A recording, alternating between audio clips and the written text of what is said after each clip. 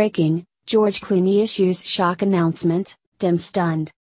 After leftist Hollywood became rabidly vocal supporters of Hillary Clinton in the 2016 election, and became worse after Hillary Clinton's loss, they've made a steadfast effort to criticize and resist President Trump. This has apparently hurt their fate for the 2020 election, and they might just be coming to terms with it. The Washington Times reported on UK Sunday Times interview with George Clooney, during which he lamented that the Democrat Party isn't collaborating with Hollywood to push their agendas and candidates, as he believes they should. Clooney admitted, We don't have a good Democratic candidate yet. We don't have anybody who lights up a room. Clooney remarked on President Trump, who he has been a vocal opponent of. Trump, for all his terrible instincts, is very charismatic. A TV star, people didn't vote for him because he accomplished anything. They knew him. And they were, like, he's exciting.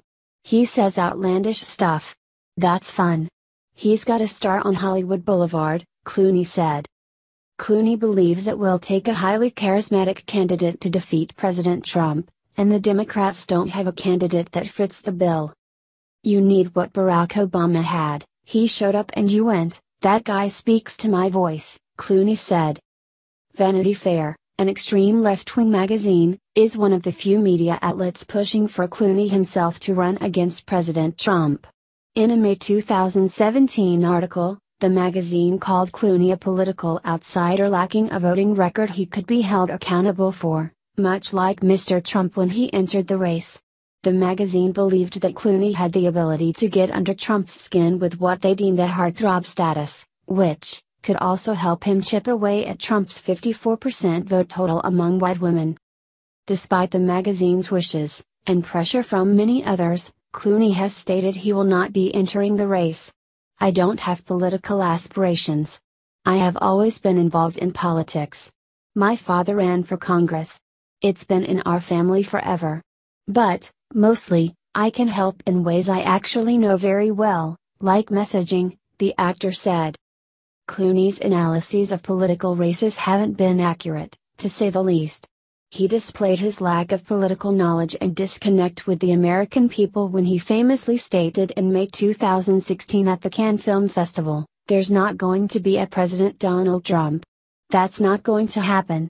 Yet the event did happen just months later.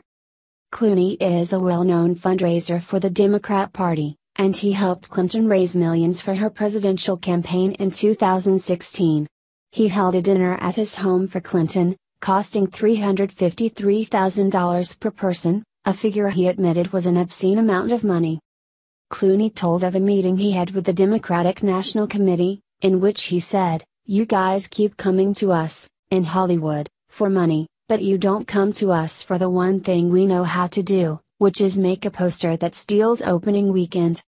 Other potential presidential candidates touted by the left include Oprah Winfrey, even calling her Democrats' best hope for 2020.